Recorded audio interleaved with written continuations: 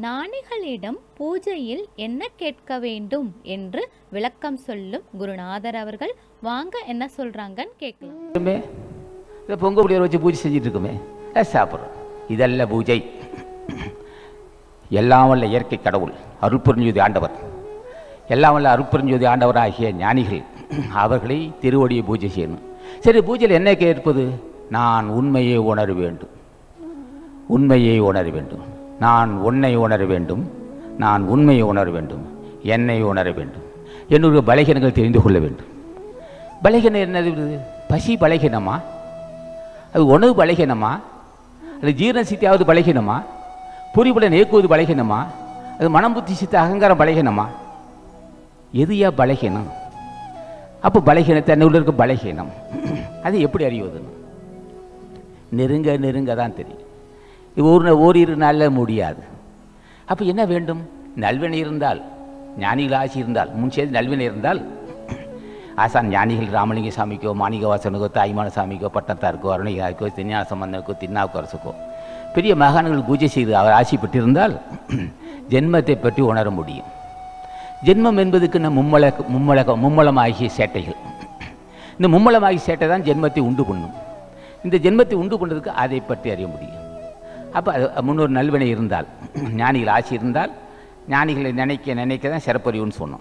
முன் நல்வினை இருந்தால் அது இயல்பாக பிறக்கும் போதே பலகீனங்களை அறிந்து கொள்கிறான். தொண்ணூறு வயசு வாழுவான் தனக்கு பலகீனங்கள் தெரியாது. தன்னை என்ன ஏன் நம்ம செத்துருக்கிறோம்? ஏன் இப்போ நம்ம ந- இது நம்ம இந்த நரதரை விரும்பணுமா சாவை விரும்புகிறோமா ஏன் முதுமை வந்துச்சு? ஏன் இலை இருமல் வந்துச்சு? ஏன் சாவுறோம் கடைசி வரவங்க தெரியாது.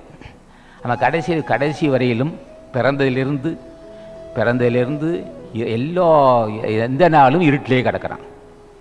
இருட்டு என்பது அறியாமை அல்லது பாவம் அது காமம் அதிலேயே கிடக்கிறான். யாரும் அவனுக்கு சொல்ல மாட்டான். சொன்னாலும் கேட்க மாட்டான். புண்ணியம்னா என்ன விலைன்னு கேட்பான். ஏன் புண்ணியம் செய்யணும்மா? பொருள் மேறு பொருள் வெறியனாக இருப்பான். இருட்டில் கிடப்பான் எப்படி இருப்பானா?